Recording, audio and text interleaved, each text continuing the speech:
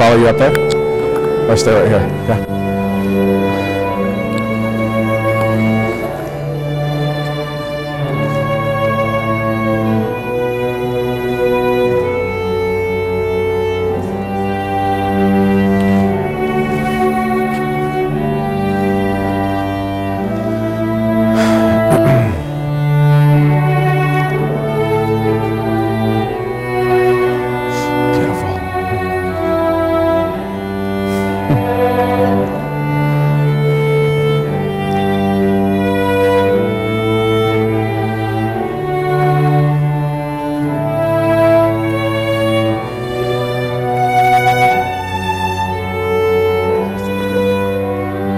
Next to, yeah.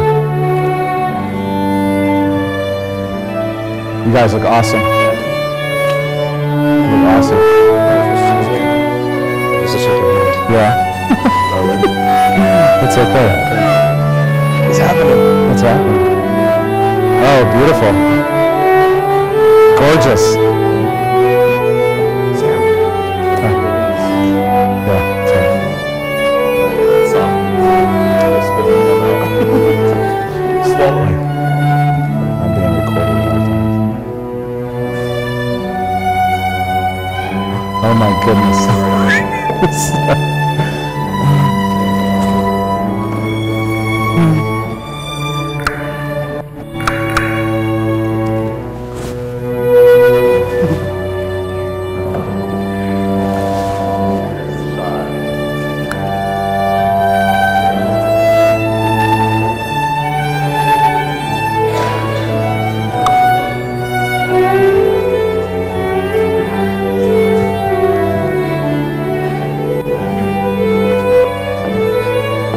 Hi, sweetie.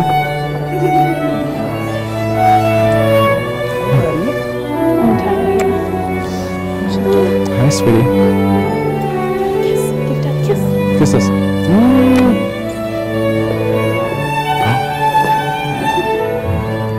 Wow.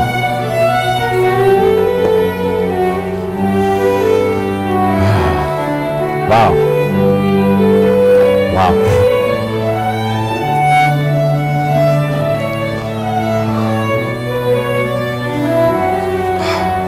You are beautiful.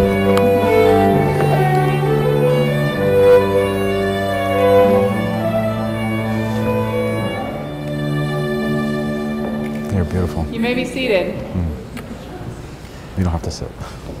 The book of First John in the Bible says that God is love, and that those who abide in love abide in God, and God abides in them. And we're here today because, to some extent, we believe that. We believe that the thing that keeps the universe spinning isn't some distant and unknown thing. It's a presence that moves with us in our lives, and it's best known in loving relationship. Marriage is one of those relationships, and when it's done right, it's a close up look at what life is all about commitment and growth and joy and sacrifice and putting another person first and finding in the midst of these things a deep freedom and peace. If you've known this kind of love, then you have known God. And so we know as we come together today that love is present and it connects us all to one another in powerful ways. Dawn and Sam have chosen to love one another truly and deeply, and we give thanks for them. And we celebrate with them as they take the next step into their lives together. The reading that they've chosen today is one that expresses for them what this looks like and the blessing that they'll need to sustain this loving relationship, to continue to strive together, to choose to love one another through everything, all the ups and downs of life, to give one another the freedom to grow and to commit and to support and to be honest and patient with one another, even as love connects and transforms them together. So we add our blessing to theirs, and we welcome you this day to celebrate the wedding of Dawn and Sam. So, Dawn and Sam, your marriage is intended to join you for life in a relationship so intimate and personal that it will change your whole being. God offers you the hope and indeed the promise of a love that is true and mature. So, Sam, do you take Dawn to be your wife, and do you commit yourself to her to be responsible in the marriage relationship, to give yourself to her in love and in work, to invite her fully into your being so that she can know who you are, to cherish her above all others, and to respect her individuality, encouraging her to be herself, and to grow into all that God intends. I do. It's- oh, you got it. You got the line already. You have to feed it to him. I do. Well done. Your line will be the same one. Perfect. All right. Dawn, do you take Sam to be your husband and do you commit yourself to him to be responsible in the marriage relationship, to give yourself to him in love and in work, to invite him fully into your being so that he can know who you are and cherish him above all others, to respect his individuality, encouraging him to be himself and to grow in all that God intends? I do. There you go. One of the ways that they want to grow into all that God intends is to celebrate uh, the sacrament of baptism during this wedding. It's sort of a unique instance um, to do this in this way, and I love it uh, because it's kind of a cool statement for them uh, for what it means to be together. For Christians, baptism is an outward sign of something that's already true, uh, sort of like standing up in a, in a marriage ceremony or a wedding ceremony doesn't make a marriage. It's, it's how you live it out in life. So for us, the thing that's already true is God's grace, that God loves and created each one of us and has a purpose for us in this world. And so, for children who can't answer for themselves, and Sebastian's going to come join us in just a minute, though he doesn't know it yet. um, baptism is a way for a community to commit to loving a child and helping them to grow up in love and grace so they can see the best parts of being a Christian so that one day they might choose that for themselves or, or choose another way. They still have the option to do that, but it's sort of our way of saying, we believe that God loves this child and we're going to love this child too. Uh, for adults, it's slightly different. It's a commitment that they're making to live their lives in, in integrity and in compassion and in justice um, and in spiritual connection to God through Jesus. Um, usually it's done, in, like I said, in the context of a worshiping community because it's all about the community saying, we will help each other do this. Today, you are that community. Today, you are the community who is sort of promising, pledging to grow and to support them, um, that, that is promising to help them learn what it means to walk in love and in faithfulness and in integrity. So, well done, you. It's going to be great. All right. So, can we bring Sebastian up?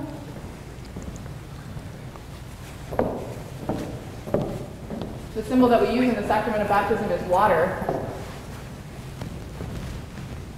Water is the most pervasive thing on the planet. It's 70% of the planet, it's 70% of our bodies. It's literally everywhere, even in the middle of the desert.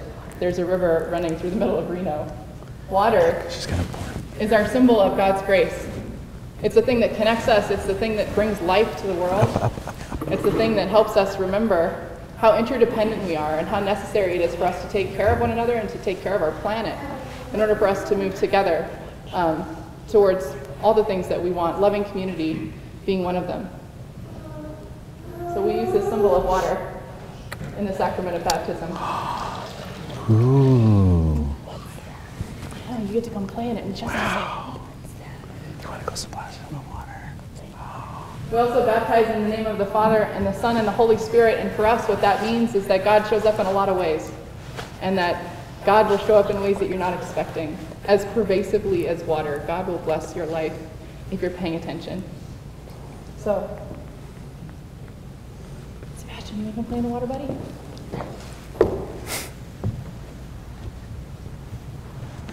You can play. He's like, I'm not sure about this. He loves it.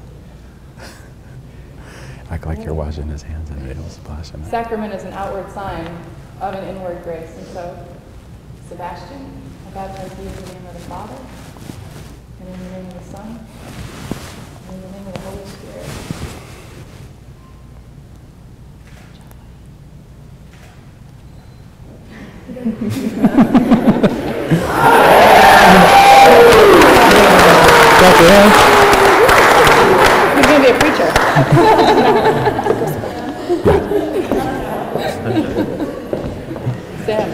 baptize you in the name of the Father,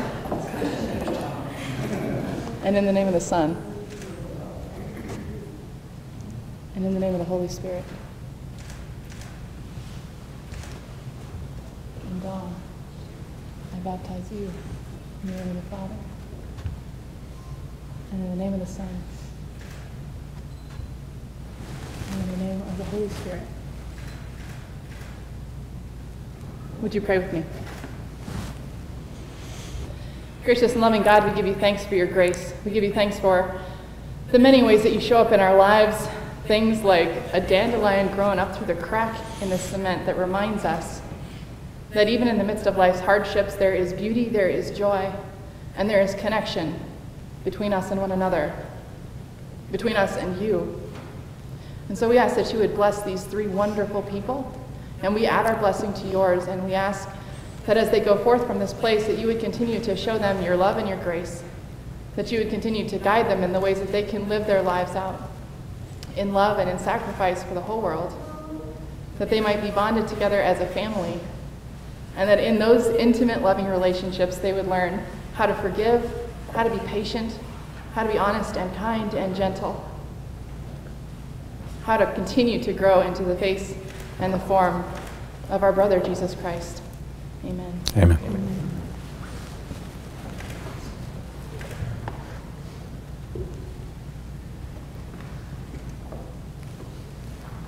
Dawn and Sam have also asked for your blessing. So your line is going to be Amen. Ready? The marriage of Dawn and Sam unites their families and creates a new one. And they ask for your blessing. If you rejoice in their union and pray God's blessing upon them, please respond by saying Amen. Amen. All right, I think you've got love and support in this room. I think that's lying. the reading that they've chosen is from the book of Colossians, uh, chapter 3. So, chosen by God for this new life of love, dress in the wardrobe God picked out for you compassion, kindness, humility, quiet strength, discipline. Be even tempered, content with second place, quick to forgive an offense. Forgive as quickly and completely as the Master forgave you. And regardless of what else you put on, wear love. It's your basic, all purpose garment. Never be without it. Let the peace of Christ keep you in tune with each other, in step with each other. None of this going off and doing your own thing. And cultivate thankfulness. Let the word of Christ, the message, have the run of the house. Give it plenty of room in your lives. Instruct and direct one another using good common sense. And sing your hearts out to God. Let every detail of your lives, words, actions, whatever, be done in the name of the Master Jesus, thanking God the Father every step of the way. It's this great irony of the universe that the way that you experience love is by giving love. That means that marriage isn't just about being loved for all that you are, but in loving with all that you are. It's not just marrying the right partner, it's being the right partner. The reading and rituals that you've chosen today express that truth. That love isn't just a happy feeling or a cushy security, it's a decision that you make day after day, in the big things and in the little things, to put the other person first. To develop in yourselves what the Apostle Paul calls the fruits of the Spirit. He's describing what this love looks like lived out in our lives, and he calls it joy, peace, patience, kindness, generosity, faithfulness, gentleness, and self control. When we cultivate this kind of love, all these things grow in our lives affection for others, exuberance, serenity, a willingness to stick with things, a sense of compassion, and a conviction that a basic holiness permeates all things and all people. We find ourselves involved in loyal commitments, not needing to force our way and able to direct our energy wisely. If you're ever at a loss for how to love someone, take a look at the list in the scripture that you chose today and develop those things in yourselves. Develop those dimensions of love. Love is our antidote to narcissism, although kids do a pretty good job of that too. It's our panacea for all life's bumps and bruises, and it connects and it sustains us in a mysterious way, even beyond this life. In this case, it makes a life out of two lives, transforms Dawn and Sam into one. Now, Dawn and Sam are unique individuals, and I'm sure y'all have known them longer than I have and can attest to that. Mm-hmm. When we sat down to plan the actual ceremony, I don't think there was there was any part of it where they chose the same thing for the same part of the ceremony. They always chose something different. She wanted to say these vows, and he wanted to say those, and she wanted to say these ring ceremony words, and he liked that one. But watching them make decisions together was kind of beautiful. I don't know if y'all have ever seen them Rochambeau over something, but that was kind of cool. And even when they won, sometimes they would still choose the other person's preference, which was kind of beautiful too. And in some parts of the ceremony, they simply chose to do it their own way, which is absolutely fine too. To vow to love and commit with words that more closely express their own personalities and sentiments, even if it meant essentially the same thing. In their new life together, instead of choosing one person's name for the whole family, they chose a new name together. Combination of Jackson and Samuels. It will become the Saxon family. I think it's beautiful the ways that they bend for one another, the ways that they choose together. It won't always be that easy, of course. It won't be as easy as sort of going down the list and saying, Right. I like this one. Some decisions are of more moment than that. And living them out, living these words that you've chosen out today, is what will actually be the hard work, what will actually be the transformative experience.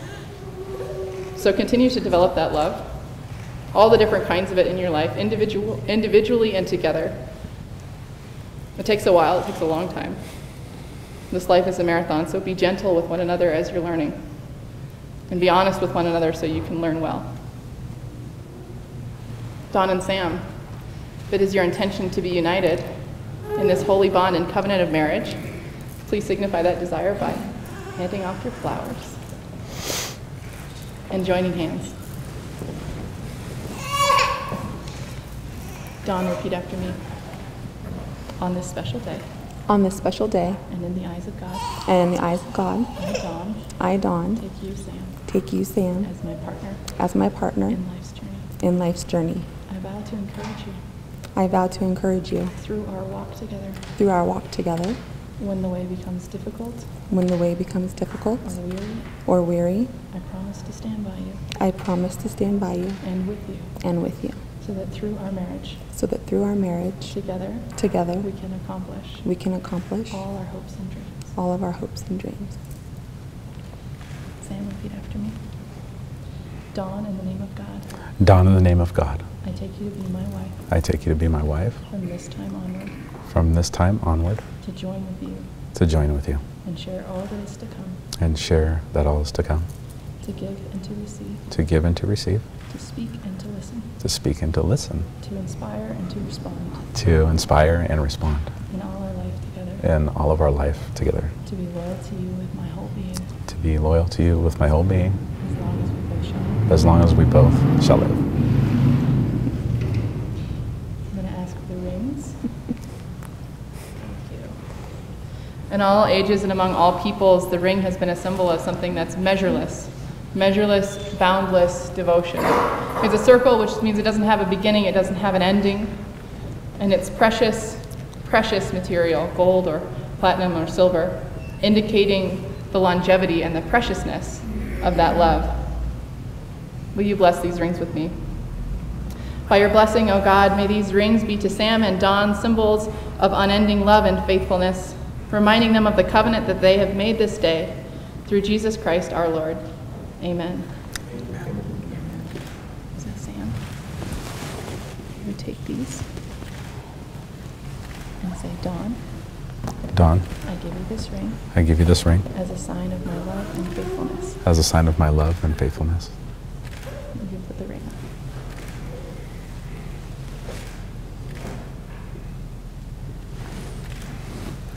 Dawn, repeat after me. Sam, I give you this ring. Sam, I give you this ring. As a sign of my vow, as a sign of my vow, and with all that I am. And with all that I am. And all that I have, and all that I have, I honor you.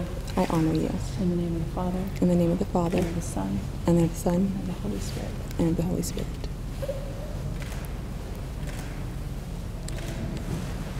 Sam and Dawn have chosen to perform a love letter and wine box ceremony.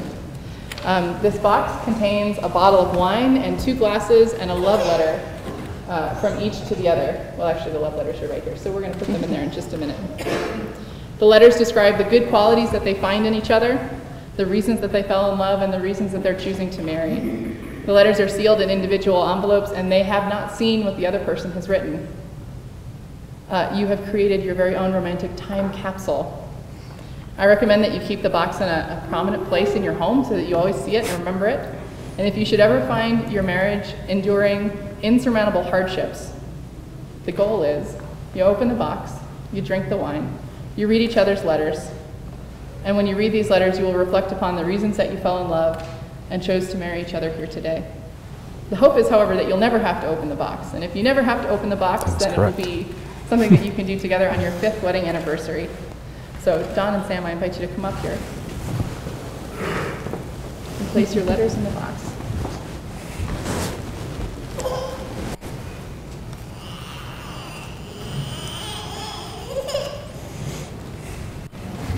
Oh. Use this key to seal the box. Would you like to seal it? Yes. Oh, you seal it. Okay. Yeah. You're over there. Let's see if I can get it. Perfect. Probably should. Should we just stay up here? or-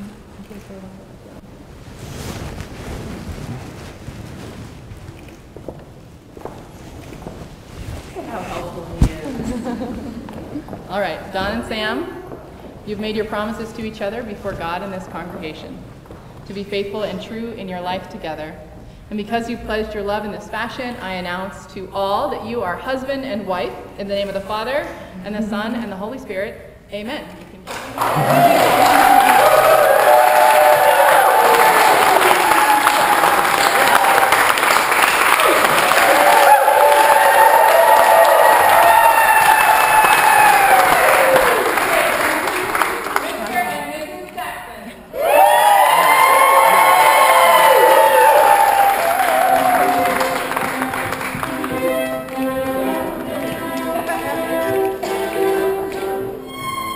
You can- Tråkat